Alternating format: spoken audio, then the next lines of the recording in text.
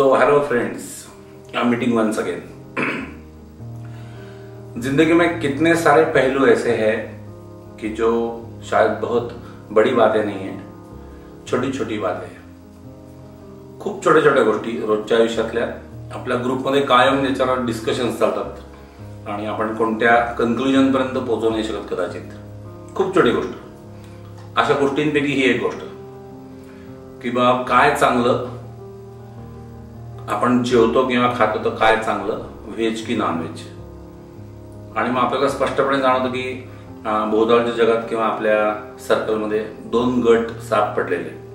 जसे संप्रदाय निर्माण होतात तसे. एक व्हेजवाले दुसरे नॉनव्हेजवाले and they have got enough isms about their own culture और their own habits both of the groups veg वाले जो है वो नॉन वेज वाले लोगों में शायद मिक्सअप नहीं होंगे.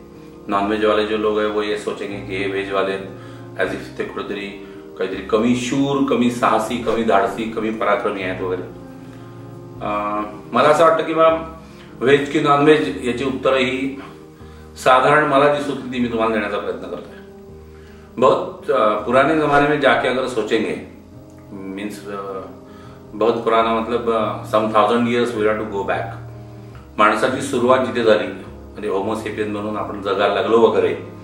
तर खरं म्हणजे माणसाचा सगळ्यात पहिला व्यवसाय जो आहे तो शेती नाही आहे.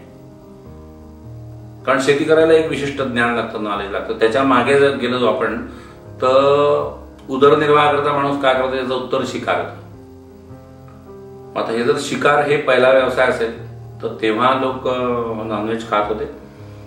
It's very clear that was typically their lifestyle at that time मग लोक हळूहळू शिकले मग हळूहळू शेती करायला लागले मग व्हेजिटेरियन फूड ऍड झालं.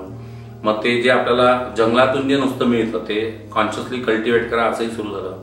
ही जी काय आपण चर्चा करतोय मला असं वाटतं की बा that was out of availability तुम्हाला काय उपलब्ध आहे याच्यानुसार तुम्ही जे उपलब्ध आहात ते खाणार आहात. त्याच्यात इतके चॉईस इतके इगोज इतके इथॉस इतके इझम्स असं काही नव्हतं. फिर अभी आज के तारीख में बात करेंगे तो ऐसा है ना की नॉनव्हेज खाणारे जे त्यांना बऱ्याच लोकांना असं एक कुठेतरी काहीतरी क- दंभ म्हणा किंवा गुरुर म्हणा असतो की हम नॉनव्हेज खाते. आणि बऱ्याच वेळेला असे होतं की ते व्हेज खाणाऱ्यांना कुठेतरी काहीतरी ह्युमिलेट करतात. की ये नाही खाते. मतलब ये नाही खा सकते. आणि नॉनव्हेजवाले जे व्हेजवाल्यांना समोरासमोर असं काहीतरी बोलतील मग व्हेजवाले आपापसात जमले की ते आपापसात जमल्यानंतर नॉनव्हेजवाल्यांविषयी अशीच चर्चा करतील. व्हेजवाल्यांना नॉनव्हेजवाल्यांच्या थोबडावरी म्हणण्याची काय म्हणूया डेअरिंग नसतं किंवा त्यांची ती प्रवृत्ती नसते किंवा तुम्ही जे करताय ते अधिक चुकीचं करताय का? मुळात मुद्दा आपण का खातो आहे? आणि का खातो याचं पुढचं उत्तर नॅचरली न्यूट्रिशन आहे. आपल्या शरीराला आवश्यक काय द्रव्य मिळावी म्हणून आपण जे खायचं ते खातो. आणि ते खायला पाहिजे. मग आपल्याला प्रोटीन्स पाहिजेत आपल्याला मिनरल्स पाहिजेत व्हिटॅमिन्स पाहिजेत किंवा कार्बोहायड्रेट्स पाहिजेत.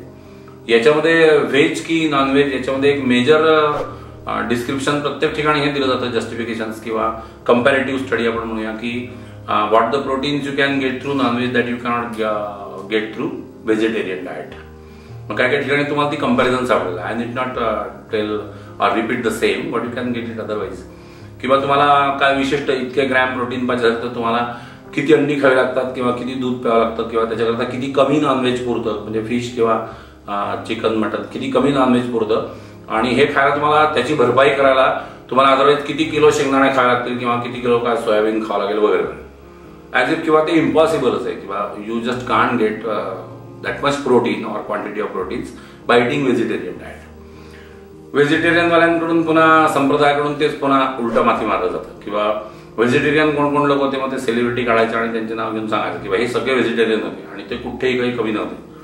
मुळात हा मुद्दा मला नाही वाटत असा आहे. मेडिकली स्पीकिंग किंवा बायोलॉजिकली स्पीकिंग न्यूट्रिशनल सायन्स किंवा डायटेटिक्स या टेक्निकल टर्मिनॉलॉजीमध्ये आपण घोषणार नाही आहोत. पण मला असं वाटतं की बा what the quality of proteins you can get in fish that hardly you can get it from any vegetarian diet this may be true may not be assuming it to be true तरी मग मुद्दा शिल्लक राहणार की मग म्हणून तुम्ही fish का खाऊ शकणार आहात का? कारण नॉनव्हेज खाणारे पण बरेच लोक जे आहेत हे फिशला हातही नाही करू शकत. Naturally because of typical smell that is unbearable even for those who eat chicken or mutton मग आता व्हेजिटेरियनकडून आला तर मग बऱ्याच वेळेला असं असतं की बा आम्ही अंडी खातो बा. मग आता अंडी खाता तुम्ही आणि तुम्ही चिकन नाही खाऊ शकत. तर तुम्ही नॉन व्हेजिटेरियन आहात की व्हेजिटेरियन आहात? म्हणजे अंडी ही परमिसिबल लिमिट झाली का? किंवा अंडी खातो. मग त्याच्यात आमलेट तर आम्हाला चालतं किंवा ब्रॅकेटमध्ये आवडतं. मुळात मुद्दा असा आहे ना की न्यूट्रिशन के लिए खा रहे हो अगर तो जो जरूरी है या जो ज्यादा अच्छा है वो खाना चाहिए। कारण मग काय होतं टिपिकल व्हेजिटेरियन माणसाला सुद्धा एखाद्या डॉक्टरनी सांगितलं की बा काहीतरी आजारपणातून तो उठला आणि ट्रिमेंडस विकनेस आलेला आहे तर तुम्ही अंडी खाणं सुरू करा किंवा काय अंड्याचं काहीतरी आमलेट करून खा. आणि सरप्राइझिंगली पण that person will accept that under medical advice as if that is certified that that is not a crime that you are eating non veg because doctor has advised you अजून त्याच्या पलीकडे vegetarian वाल्यांचा दावा आहे की तुम्ही क्रूर आहात. नॉन व्हेजिटेरियन वाल्यांकरता किंवा तुम्ही एका प्राण्याचा जीव घेऊन तुम्ही कसं तुमचं आयुष्य त्याच्यावर काढू शकता? हाही एक मुद्दा पुन्हा पुन्हा व्हेजिटेरियन वाल्यांकडून मांडला जातो. मग आता खरं म्हणजे जीव घेऊन आपण काहीतरी खातोय म्हणजे कोणत्या तरी प्राण्याला मारून त्याचं तुम्ही मांस खाताय. हे नुसतं एक वाक्य जे ते वरवर पाहता क्रूर आहे. पण मग अजून थोडासा विचार केला तर असा मुद्दा इकडच्या विंगकडून येऊ शकतो की जगदीशचंद्र बोस किंवा कोणतेही बॉटनिस्ट म्हणूया किंवा they have sufficient number of time they have proved की वनस्पती सजीव असतात वनस्पतींना पण जीव असतो. मग आता वनस्पती आपण उठून खातो तर हे एका प्रकारे सजीवाची हत्या नाही का? आणि I think that is a point to think over कारण आपण एक काय कोंबडी मारली किंवा काय कोणता तरी प्राणी मारला तो आपण खातोय. तर पालक किंवा काय धनिया म्हणजे सांबारचं झाड आपण अशी रोप अशी भसभस उपटून ती खातोय. मग ही एक प्रकारे हत्या नाही का? दूध हे व्हेजिटेरियनमध्ये टाकायचं की नॉन व्हेजिटेरियनमध्ये? हे तर स्पिरिच्युअलिटी वालेपर्यंत लोक जे योगिक सामर्थ्यावर होतं ते दुधावर राहतात वगैरे असं आहे. दूध हा प्राणीचाच पदार्थ आहे. दुधाला काय चाला म्हणजे दूध चालतं की नाही चालत? उपास करणाऱ्या लोकांना सुद्धा दूध हे चालतंच. किंवा फार आध्यात्मिक लोकांना दूधच चालतं. वास्तविक पदार्थ दूध हाही प्राणीचे पदार्थ आहे. तो क्या करे? ये पिना चाहिए नाही पिना चाहिए आता वस्तुता असा मुद्दा मांडला जाऊ शकतो की दूध हे गाईपासून आपण मिळवतो किंवा काय म्हशीपासून मिळवतो. कोणत्या पद्धतीने मिळवतो? मला नाही वाटत ती पद्धत की खूप काही क्रवऱ्यापासून दूर जाणारी ऑल द मॅमल्स म्हणजे सगळे सस्तन प्राणी जे आहेत ते दूध निर्माण करू शकतात. गाय ते दूध निर्माण करते किंवा म्हैसही करते बकरी करत असेल. तिचं दूध असं ज्या पद्धतीने आपण काढतो त्या पद्धतीने काढणं हे मोठं प्रेमळपणाचं लक्षण आहे का? मला असं म्हणजे तुम्ही पण विचार करा की बाबा हे प्रेमळपणाचं लक्षण आहे का? मग आता ते दूध आपण तसं काढतोय आणि ते पितोय तर हे क्षम्य आहे. नव्हे ते अप्रिशिएबल आहे. आणि मग कोणीतरी तिकडे नॉनव्हेज खात आहे म्हणजे टिपिकली स्पीकिंग मांस किंवा मासे खात आहे. तर ते जीवाची हत्या झाली. मग ही जीवाची हत्या नाही आहे का? त्याच्यामध्ये अजून आपण कोणाचा तरी हक्कही मारत असतो. कारण ते दूध जे आपण पितो त्याच्यावर शक्यता आहे की त्या वास्त्राचा हक्क असेल आणि प्रसंगी त्याला बाजूला करून ते आपण काढतोय वगैरे. और फिर आगे चले गए तो मुझे लगता है कि न्यूट्रिशन डायटेटिक्स अपनी परंपराएं या अवेलेबिलिटी पुराने जमाने में क्या हुआ? इससे और ज्यादा इंपॉर्टंट एक बात आती है हमारी बिलीफ सिस्टम आपण ज्या पद्धतीत ज्या संप्रदायात ज्या कुटुंबात ज्या समाजात वाढलो तिथून लहानपणापासून आपली एक बिलीफ सिस्टीम तयार होते. आणि ही आपल्या या संदर्भातही झालेली आहे.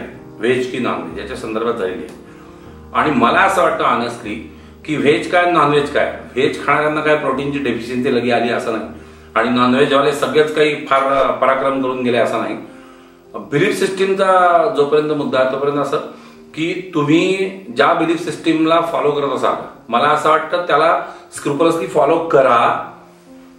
कारण काय होईल की तुम्ही प्रोटीन मिळवायचे म्हणून नॉनव्हेज खाल बट बेसिकली तुमची belief system does not allow you to go for that for example तर तुम्ही ते न्यूट्रिशन जरी मिळवत असले तरी मला असा धोका वाटतो की ते नॉनव्हेज मनाच्या विरुद्ध किंवा बिलीफ सिस्टीमच्या विरुद्ध जाऊन खाण्याचा जो गिल्ट तुम्हाला निर्माण होईल त्या गिल्टमुळे त्याचं न्यूट्रिशन जे आहे ते तरी तुमच्या बॉडीपर्यंत पोहोचेल का?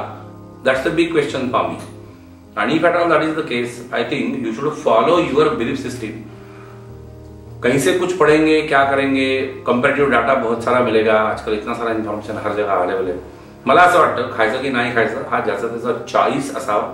आपण काही विशिष्टच खातोय किंवा खात नाहीये हे कमीपणाचं किंवा जास्तपणाचं किंवा मोठेपणाचं असं काही नाही आहे ये बिलीफ सिस्टीम अल्टर करने के बारे में मेरा सजेशन आपसे ये की तुम्ही व्हेजिटेरियन असाल आणि तुम्हाला ते अजूनही कुठेतरी डोक्यात असेल की हे कुठेतरी क्रवऱ्याची काहीतरी परिसीमा वगैरे काढतंय किंवा आपण नॉनव्हेज खातोय. तर मग मला असं वाटतं बी लिटिल रॅशनल जसे ना की गवत हा सुद्धा कोणाचा तरी खाण्याचाच पदार्थ आहे म्हणजे शाकाहारी लोकांना हे सांगण्याची गरजच नाही. गवतावर जो ग्रास वापर जगतो म्हणजे कोणता तरी किडा म्हणूया आपण तो किडा जगतो त्या किड्याला बेडूक खात असतं. त्या बेडक्याला साप गिळंकृत करतो. त्या सापाला पण कोणता तरी गरुड उचलणार आहे. त्या गरुडाचंही पुढे काहीतरी तेच होणार आहे. एन्व्हायरमेंटल बॅलन्सच्या दृष्टीने मला असं वाटतं किंवा that is a food chain systematically set up food web म्हणून आजच्या भाषेत food chain or food web that is systematically set up by the nature आपण कोणत्या तरी जीवाची हत्या करतोय म्हणून आपल्याला अपराधीपणाची भावना येते आहे का? याच्याकरता जीवो जीवस्य जीवनम हा सृष्टीचा बेसिक नियम आहे असं मला वाटतं किंवा दॅट इज अ फॅक्ट मला काय वाटतं किंवा तुम्हाला काय वाटतं? That is not a matter जीवो जीवस्य जीवनम हा जर सृष्टीचा न्याय असेल तर एका जीवावर दुसरा जीव उजराण करत असतो. ही फॅक्ट आहे. मोठे मासे समुद्रातले जे आहेत ते छोट्या माशांना गिळंकृत करणार आहे ही फॅक्ट आहे. आणि जर तसं असेल तर आपण हे जे काही करतोय याच्यामध्ये आपल्याला खरं म्हणजे हे रॅशनॅलिझम जर पाहता आलं तर मग आपल्याला ती गिल्डची भावना जी आहे त्यापासून आपल्याला स्वतःला परावृत्त करता येईल किंवा स्वतःला त्याच्या अलिप्त ठेवता येईल again I repeat I am not at all advising you to go for the non veg food because I am not standing your on behalf of any of the two wings whether you are vegetarian, whether you are non-vegetarian, uh, shall I tell you the truth? There is no one who is a non-vegetarian. So far as we people means human being are concerned. Non vegetarian म्हणजे जो नॉनव्हेजच खातो. आपल्यापैकी कोणीच तसा नाही.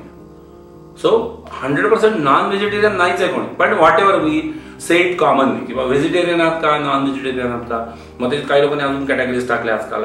फिशिटेरियन आहात का? हा ठीक आहे. टर्मिनॉलॉजी आहे की मग फ्रुटेरियन आहात का? वगैरे वगैरे. So whatever arian you are whatever you eat that is not a question to what you call yourself और टू युअर से ग्रुप और ग्रुप ऑफ़ पीपल मगर अ, जो लगता अंदर से वो अगर करेंगे तो जो मिलना है वो तो न्यूट्रिशन कहीं से भी मिलेगा। मगर वो गिल्ट पकड़ के वो मत करना और गिल्ट अगर आ रहा है तो वो गिल्ट अप्रोप्रिएट है क्या? इसके बारे में सोच लेना। अदरवाईज असं आहे ना की चुकीच्या गिल्ट येत होता हे कोणाला वीस वर्षांनी समजलं आणि मग तो म्हणाले my god now it is irreversible that I will go back twenty years back in my life and then start it doing then so that will not be possible मग तो गिल्ट नंतर येण्यापेक्षा मला असं वाटतं की याच्यावर एकदा विचार करा.